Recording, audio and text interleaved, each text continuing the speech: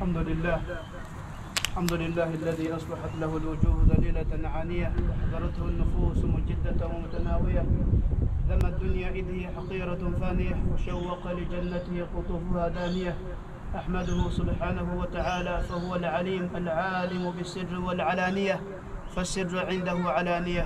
وأشهد أن لا إله إلا الله وحده لا شريك له.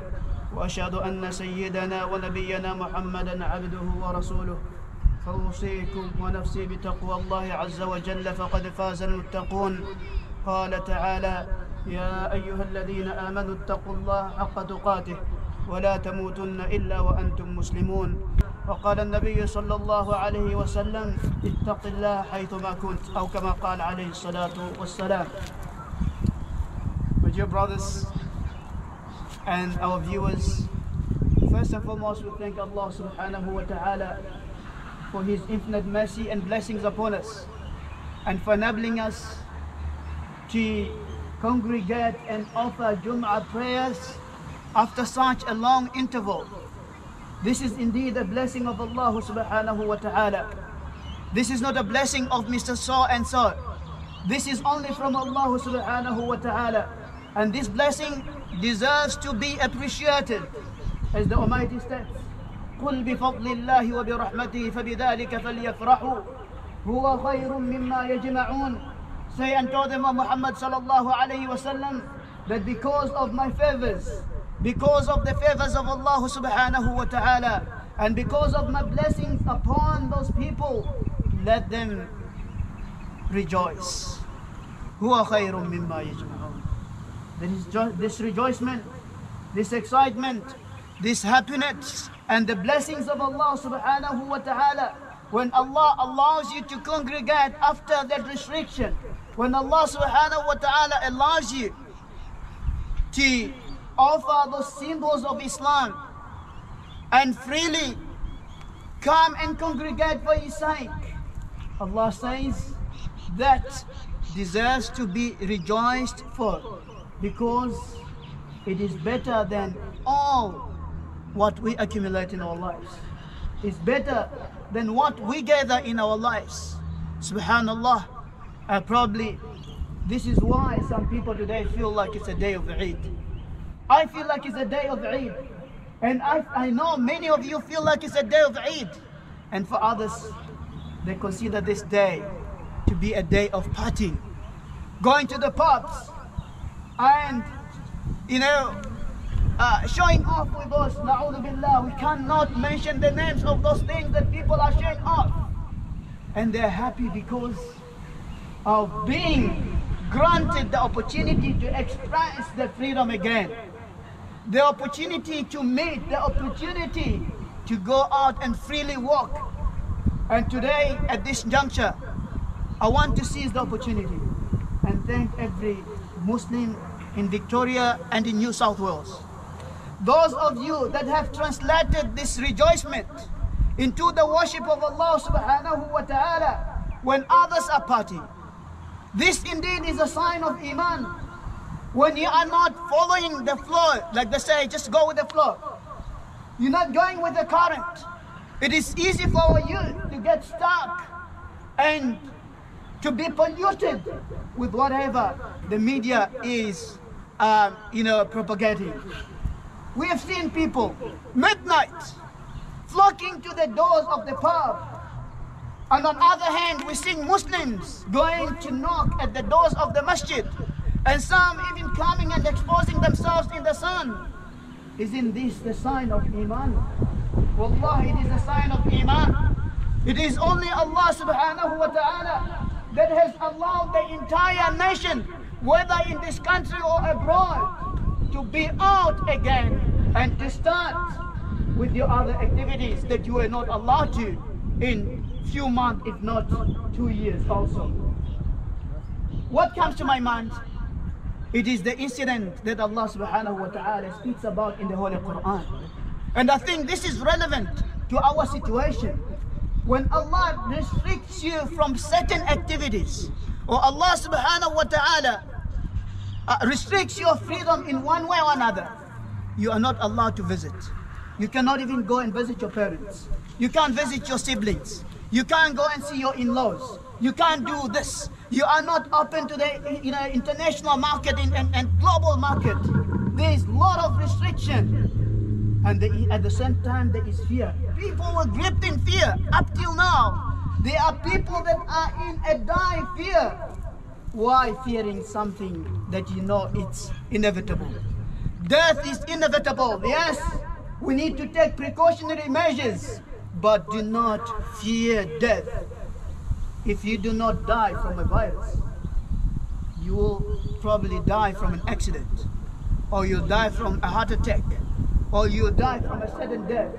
But ultimately, you have to meet Allah subhanahu wa ta'ala. A scholar goes and asks someone that you want to meet Allah subhanahu wa ta'ala? And this person says, Yes, I'm ready to meet Allah. And then the following question was, Are you ready to die now? And he starts scratching. How can you love to meet Allah subhanahu wa ta'ala when you're not ready to meet Him? When you're not ready to, to test the death? So an incident that comes to mind is what Allah subhanahu wa ta'ala speaks in a very uh, familiar chapter to many of us towards the end of the Quran, Surah Al-Quraysh. The Quraysh, the Meccans, were restricted, their freedom were restricted. And they were in fear. They could not travel. They could not go outside. They could not go as far as Mecca. And you know what this fear means to us. When we were told you can only go as far as five kilometers, probably it was for our goodness. But here the Meccans are in a fear. And all of a sudden Allah subhanahu wa ta'ala alleviates that fear. When Allah takes away something that was making you stagnant in your life, whether it's an illness, you could not walk, you're almost disabled, and all of a sudden there's an enlightenment. You are now healed, you have cured, you are cured, and you can go outside and walk. How do you translate this? How do you respond to this?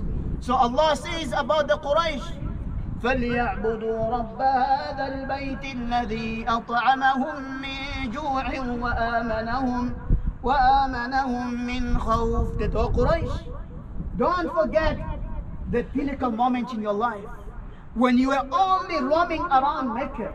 You're only restricted to the four corners of the Meccan city and you could not travel. The global market was shut. The doors were shut. And you were gripped in fear. And now Allah subhanahu wa ta'ala has alleviated that fear. Allah has alleviated that fear. Many of the business people now will be traveling abroad because the borders are going to be open.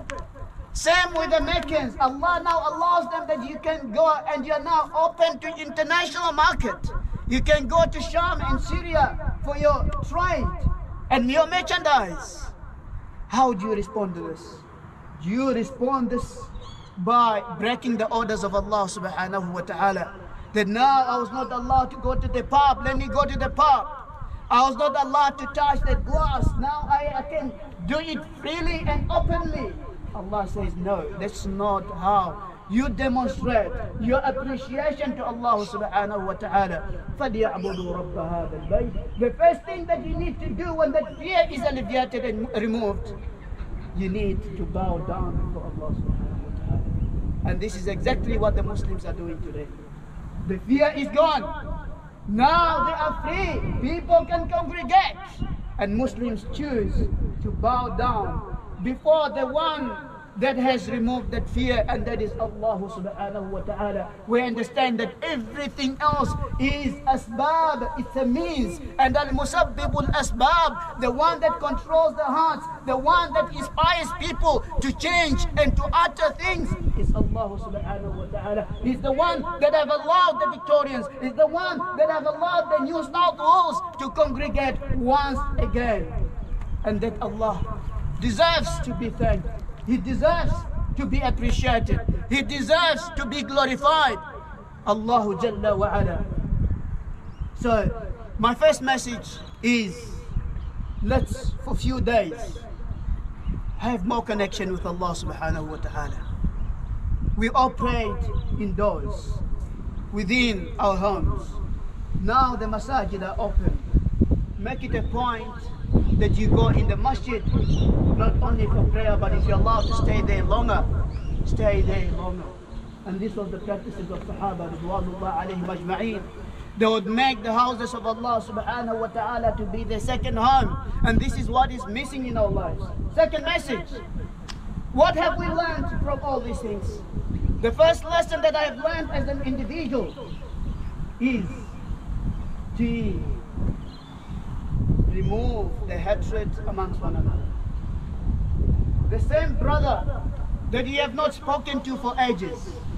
The same, if it's sisters that are watching us, the same sister that you have deserted for for ages and decades. Now Allah subhanahu wa ta'ala gives you a lesson that because you don't want to go and visit your cousin, you don't want to visit your uncle, you don't want to visit your auntie and your mom, we know the problems in the community. I'm going to lock you in for two years and you're not going to see each other so that you can reflect. Think about death a bit. Think about death where you are terminally and permanently uh, isolated from your family members. Are we going to revive those hatreds? Are we going to revive those hatreds? If we have really learned the lesson, we have learned the lesson. These two years should make us changed people in terms of our relationship with others. The person that is still going to uh, avoid others and try to revive his problems post the lockdown, that individual has not learned. He has not learned a lesson. Secondly, the second lesson that I have learned is that as an individual, I need to thank Allah subhanahu wa ta'ala for every blessing that Allah has given me. The ability of mobility, the ability of movement, it's a favor of Allah that we do not think about. Being able to go out of your house and you can go for fishing, you can go for camping, you can go and visit your family members that are on the other side. This is from Allah subhanahu wa ta'ala and the ability to go to the masjid, to the house of Allah. It is indeed a favor of Allah subhanahu wa ta'ala. The masjid were not shut. It is only because of our shortcomings. So my second message is to anyone that is attached to the masjid, whether he's listening to us now or will be listening to us later, think about how you're handling the affairs of the masjid. Is it because of your wrongdoings that the masjid are suspended? Now everything is open, but the places of worship. Doesn't this tell us that there is something wrong? And we know what is happening in the places of worship. Na'udhu billah. Na'udhu billah.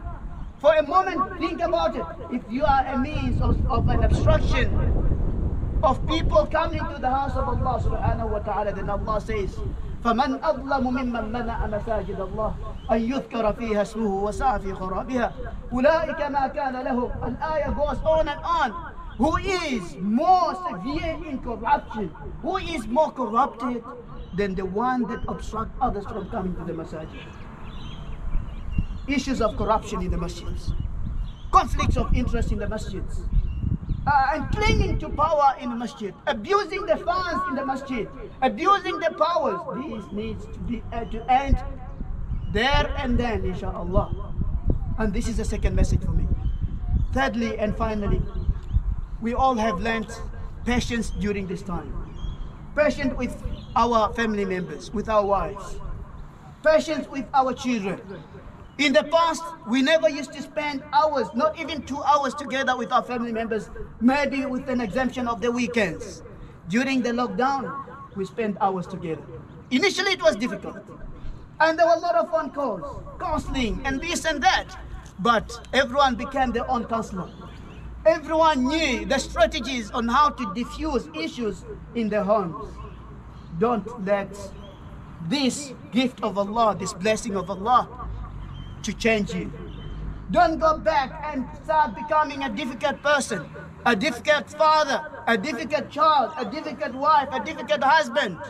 You have learned the strategies on how to move on as individuals.